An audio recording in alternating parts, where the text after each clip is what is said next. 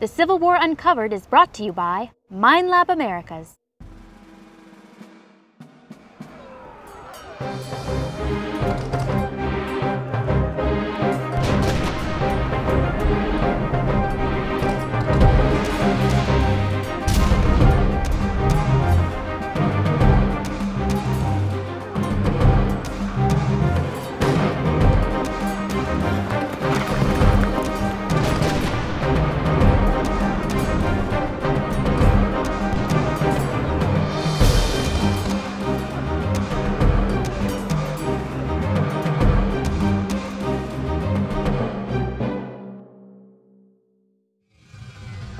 I'm Robin Smith, and welcome to another episode of the Civil War Uncovered.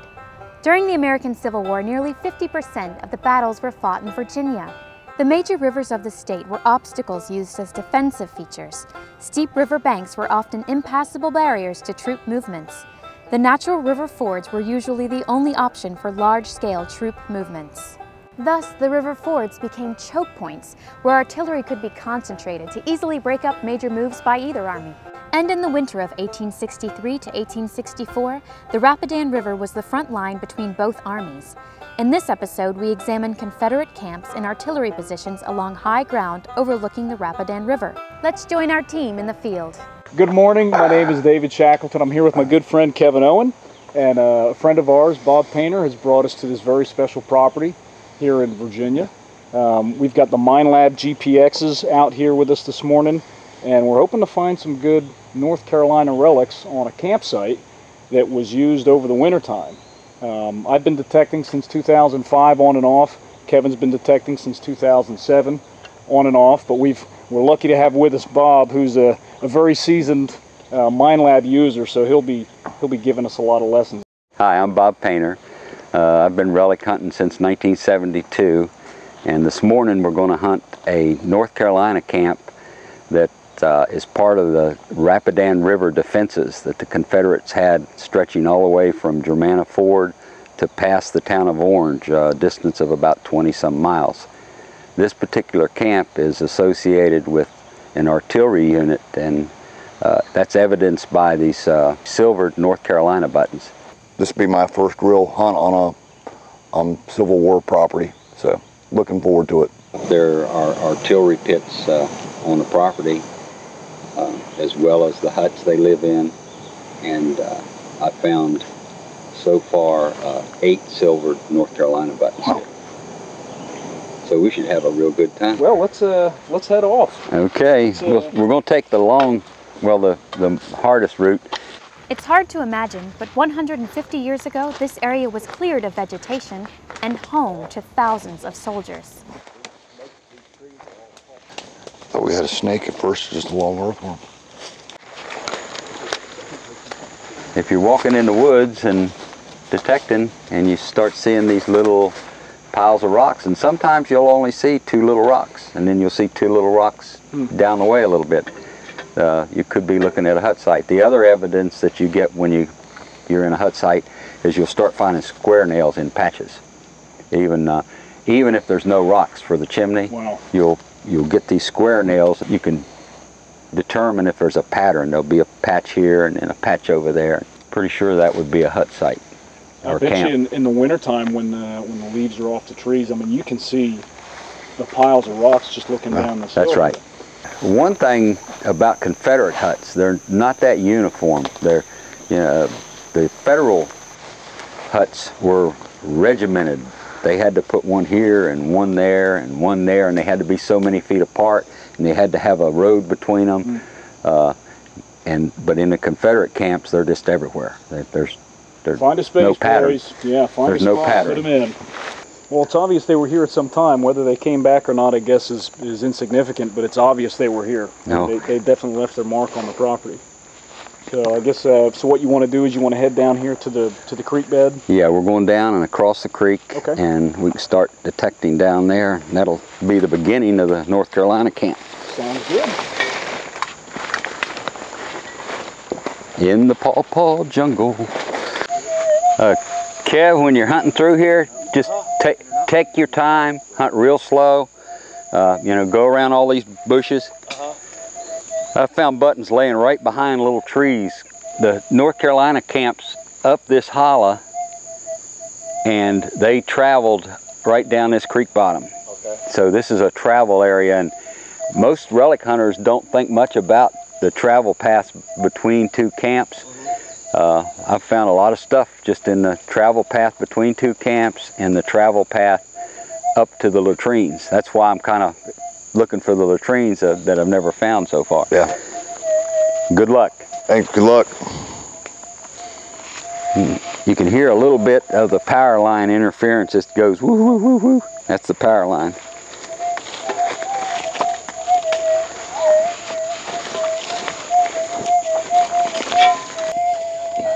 This is only probably my third or fourth hunt with this Minelab, so still in the process of learning it. But so far it's worked out well. Before, the only kind of metal detecting I've really done is um, playgrounds, parks and stuff, looking for, you know, lost change, jewelry, that kind of stuff. This is my first actual Civil War hunt on a property.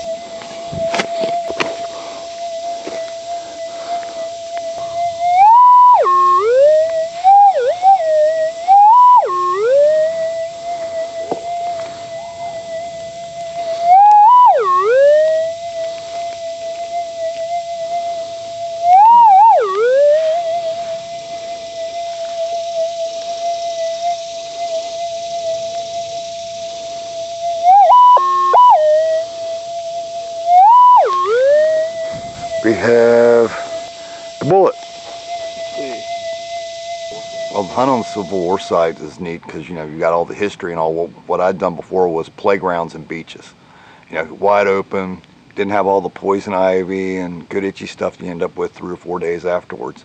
Which um, next time I go, I will have a long sleeve shirt on.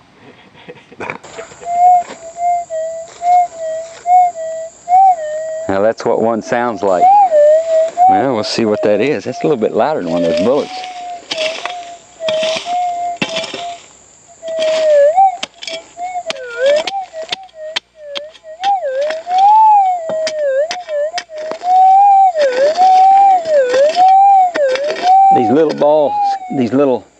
In round and conical.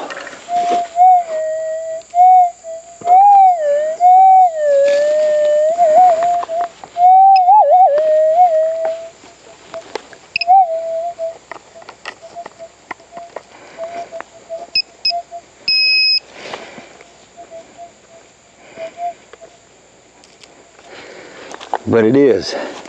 That's a 30 caliber uh, round pistol bullet and it was under that root at about four and a half inches and sounded like it was on top of the ground with this Minelab. Well, I guessed right, that was a bullet. Yeah. I'm learning this machine's talking to me. How about a tip to help you work better in the field with your metal detector?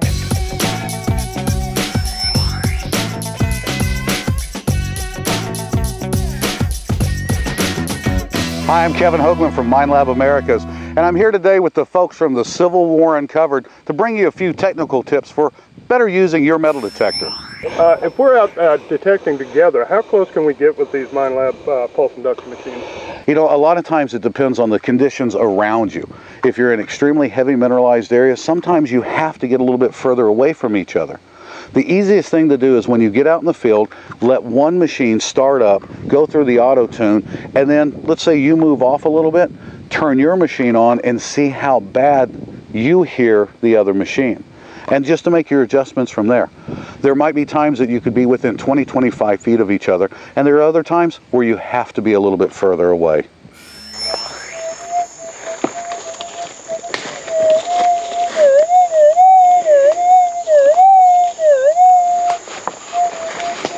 I'll you. You um. Okay.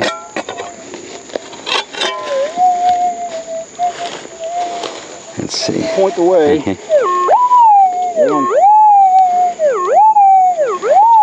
Should be right there. Wildlife. Wildlife. This doesn't sound that deep. Wouldn't that be something if we found one right off the bat? That'd be awesome. Whatever it is, it's right there. I'd hit right up in here.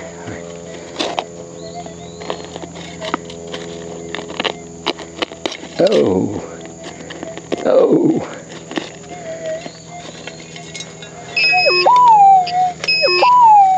See how it sets off the machine? Uh, The frequency. yeah, Yeah.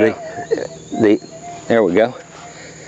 That is a That's a rimmed. that's a pulled Pulled. Uh, Confederate two-ring bullet. yep. That's a pulled Gardner. Uh-huh.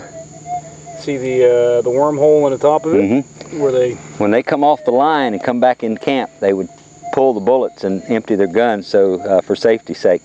Well, a Civil War soldier put that in his rifle with the intent of shooting it, and never got the opportunity to shoot it. And uh, as Bob was saying during the hunt, once they get back to the lines, they have to clear the rifles. They have to clear the guns so that they're safe. So they stick that rod down in there and twist into the top of the bullet and pull it out so that the gun is now safe.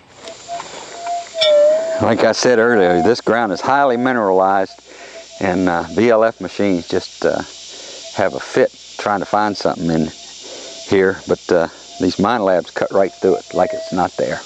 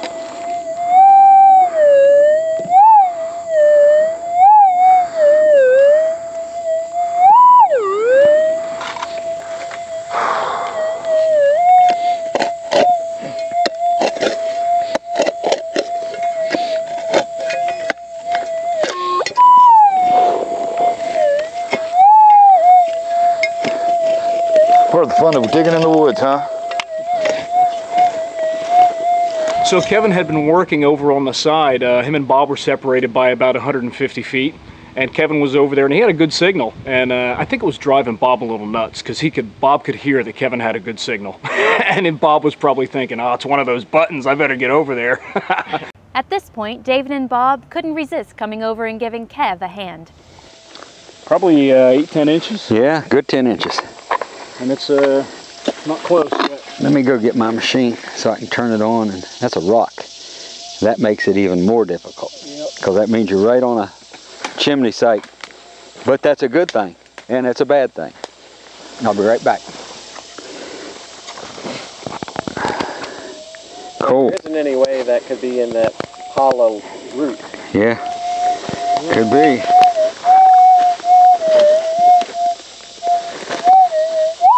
Did it pop out?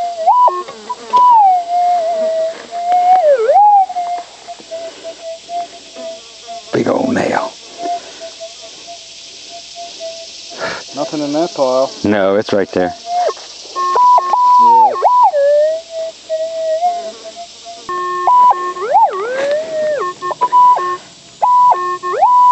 It's big, whatever it is. Yeah. It should be easy to. Uh, oh, Yeah, a little. button. Hey, The back of a button. let me see that. You know what? It's a silver button back. Yep. One way you can tell that this is a North Carolina button is the square slot. Yeah. They have a uh, shank that's made like a wedge that just goes down in there. There was there's no face. I can tell you that now. Inside there is a blob of solder that holds that shank in place. So these things feel heavy. So that thing's So, been long. since Yeah, it's there would be a there would be a shiny area where the silver broke off if, if the whole thing was there. Yeah. Uh, Kevin from North Carolina was digging up the back of a North Carolina button. Once again, it was under a root. It was tucked underneath the side uh, of the hole where he was working, um, probably four or six inches down. But it was enough of a signal where the Minelab was uh, was really picking up a strong signal, giving off a good tone. Most relic hunters have not dug a silver North Carolina button, uh, and they would be, they would be tickled to death to just dig the back off of one like uh, Kevin did. One thing we should note here this episode was filmed on two adjacent properties. We had permission to dig on the campsite property, but we only had permission to film on the Cannon Pit property. Now back to Bob as he takes us on a tour. After a long walk way up the hill from the North Carolina camp, we're at the cannon emplacements uh, that the North Carolina troops had. The, these cannon emplacements overlook the Rapidan River and uh, a ford that's uh, in the distance. You won't be able to see it, but uh, the, the cannons protected that ford. And of course, they also protected against uh, federal attack. So we'll walk over and take a look at them. They're right behind me here. You can see they're kind of a square shape with an exit back where you're standing. And this cannon would have been pointed right toward Culpeper County and the, and the ford, uh, the main ford for this area. Over in here, there's a trench line that, that runs down through the woods. It's the second, well, I guess it would be the primary trench line. Uh, the one back that, that we crossed earlier would be the secondary trench line. And we can walk over here. In between each cannon emplacement is a trench. It's hard to see in all this flora. There's not too many places in Virginia that you can find pristine uh, cannon emplacements that have been, they've remained untouched since uh, 1863. You can get right up on the mound and shoot down in it. It's kind of interesting to note the elevation here. The cannon sits down in there and the barrel just sticks over the the ridge here and they've got a clear field of view. Uh, back then there were no trees. All the way to the Rapidan River. There you go. They don't look like much, but they're real. Let's catch up with David and see if he's having any luck. So this is another another pit right here. Uh, Bob said these are all campsites. Where this North Carolina unit was camped.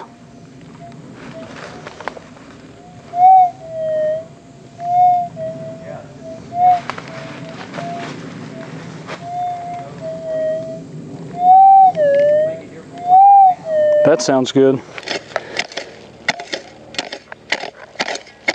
This signal here actually sounded pretty good. It didn't null out at all, which would have indicated some iron.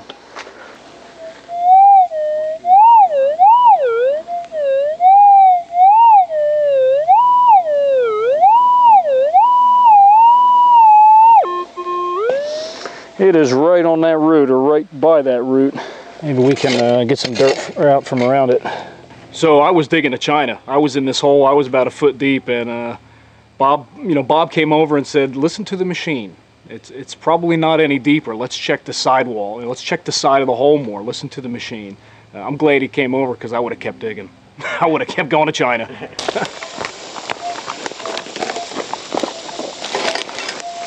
oh, running through the jungle. Ouch.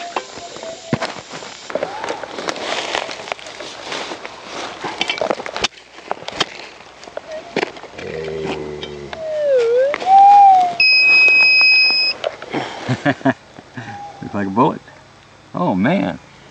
You know what that is? that is a scabbard tip to a sword, Uh, or maybe Bayonet. bayonet yeah, scabbard. It's a bayonet uh, scabbard tip. Way cool. The Civil War Uncovered crew member and longtime reenactor Rob Davis explains the importance of bayonet scabbards during the war and in reenactments today.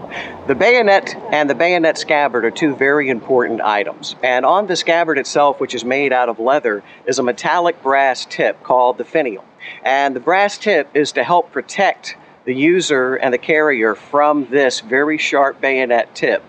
And so, quite often, what would happen when you were putting the bayonet back in the scabbard, you could push the end of it off if you're doing it very forcefully, or just over time, it could wear loose and fall apart. And then this uh, finial tip, the brass tip, would be lost. That would leave the tip of the bayonet itself exposed. And while this is attached to your belt and you're running uh, both in a reenactment or in the real Civil War, you could actually hurt yourself, cut yourself, stab yourself, or do the same to the person next to you.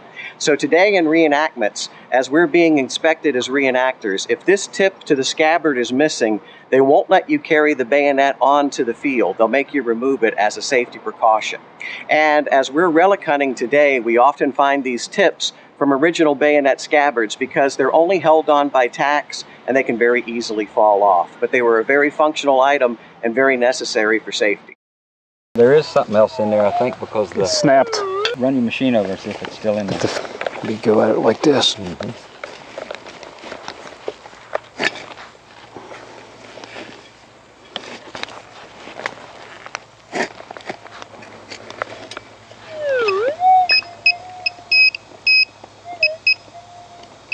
Right there it is.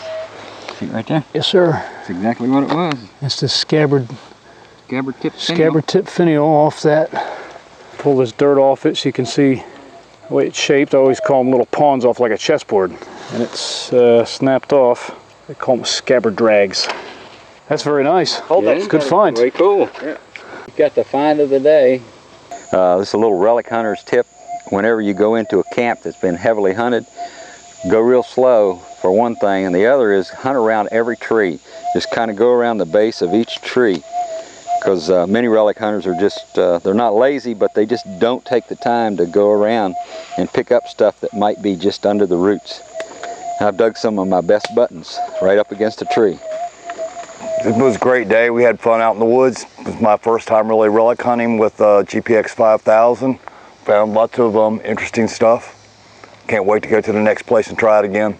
So we got out for a couple hours this morning on a property uh, that's been that's been detected quite frequently for the last 30 years. Uh, we, we got a couple of Minelab GPX 5000s out here. Um, about three hours on the property. We did pretty well. Um, got, got a couple of bullets, pistol bullets, a, uh, a scabbard tip off a bayonet, which is actually a really neat find. And uh, my buddy Kevin, who's from North Carolina, actually found the back to a North Carolina button, which is really cool. The, uh, this is one of the first things that he that he's ever dug up Civil War relic wise, so he's really proud of that. Um, one of the things that I wasn't expecting was the the terrain on the side of these hills.